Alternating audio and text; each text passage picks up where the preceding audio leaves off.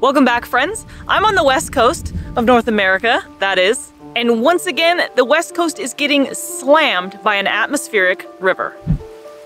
Which brings me to the topic of today's video. A few weeks ago, I had an Instagram follower ask me, what do sea otters do during storms? Does it affect their population?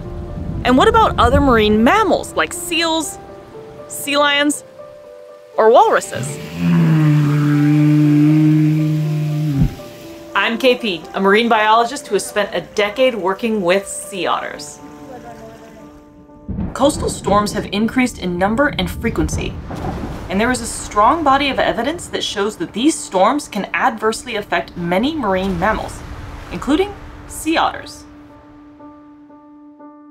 Unlike you or me who typically head indoors when it's cold and miserable out, sea otters don't really have that option. For starters, sea otters are not very migratory and will generally occupy a territory that is just a few kilometers in size and they'll remain there year round. So when storms hit, sea otters really have no choice but to just ride them out. Thankfully, sea otters are almost perfectly adapted to life in the rainy Pacific Northwest. With around 600,000 to 1 million hair follicles per square inch, it is the densest fur coat in the animal kingdom. Their fur has two layers, long waterproof guard hairs, as well as a warm and dense undercoat that helps trap air and warmth. You might even catch otters blowing air into their fur or see bubbles rising from their coat when they're swimming underwater. Most sea otters will spend their entire lives out to sea, never even setting foot on land. Even in the heaviest downpour, a sea otter's skin will stay completely dry, as long as they've properly groomed their fur coat. You have to groom you. It's important. I will say that in my expertise, sea otters don't tend to sleep quite as well when it is pouring rain. They'll kind of just lie there looking really disgruntled, a bit like a wet cat but I'm still often impressed by what they can sleep through. It's easy to forget that these are wild animals who have survived for thousands of years.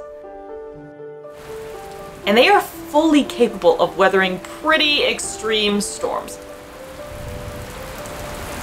I mean, just this week, our friends at Sea Otter Savvy shared this video of a raft of sea otters weathering a hailstorm. This looks absolutely miserable. and they're all kind of, you know, creeping together closer as the hail gets worse. Misery loves company, I suppose. But yeah, I mean, they're kind of just laying there and just getting pelted with the hail. It's just... It's just part of being a wild sea otter, I think. This behavior where sea otters hold hands is known as rafting. It is one of the ways they've learned how to deal with storms. Because it's not so much the rain or the hail that's the problem, but the wind and the waves.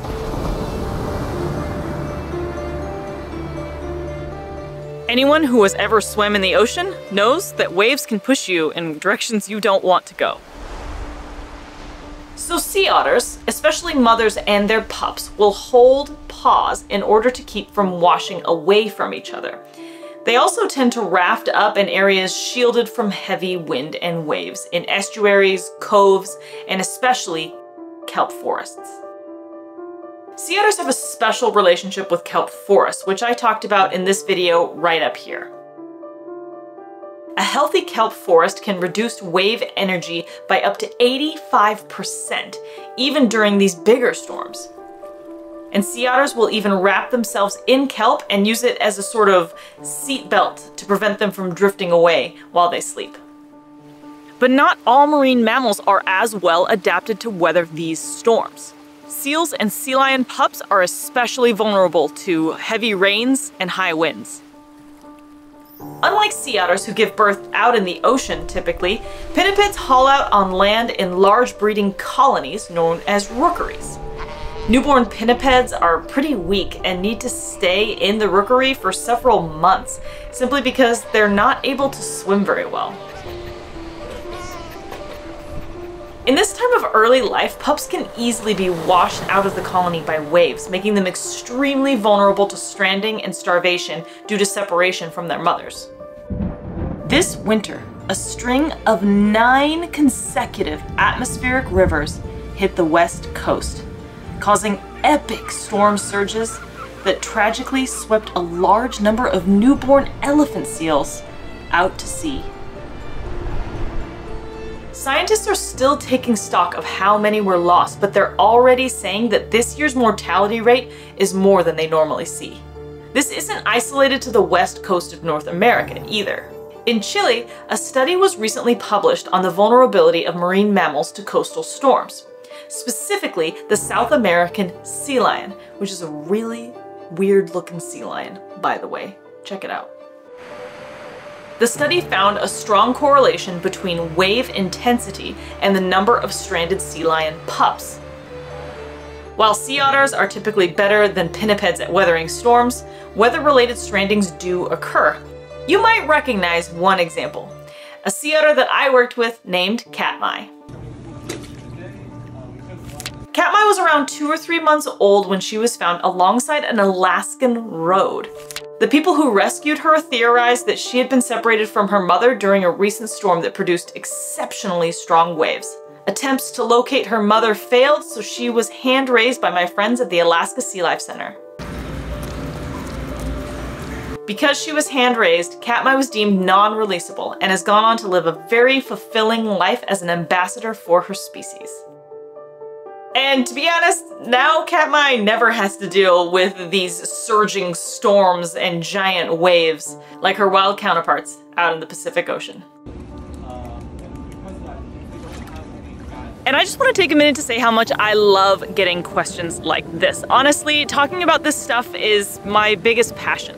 The very reason that I started this YouTube channel way back in 2020 was actually to reach out to people teach people about the ocean animals that we have and hopefully inspire people to be a little bit more passionate about our oceans, the creatures that live in them, and conservation. So if you ever have a question, drop it in the comments or send me a DM.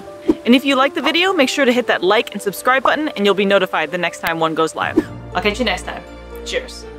And that way you'll be notified the next time that we have a video. That's stupid.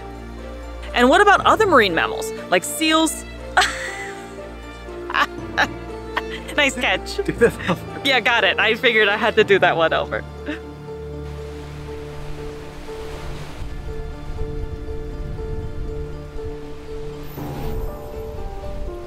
You're looking at me like you hate it, hating the way this is going. No, Okay. I- I'm looking at you like I'm getting rain in my face. Oh, okay.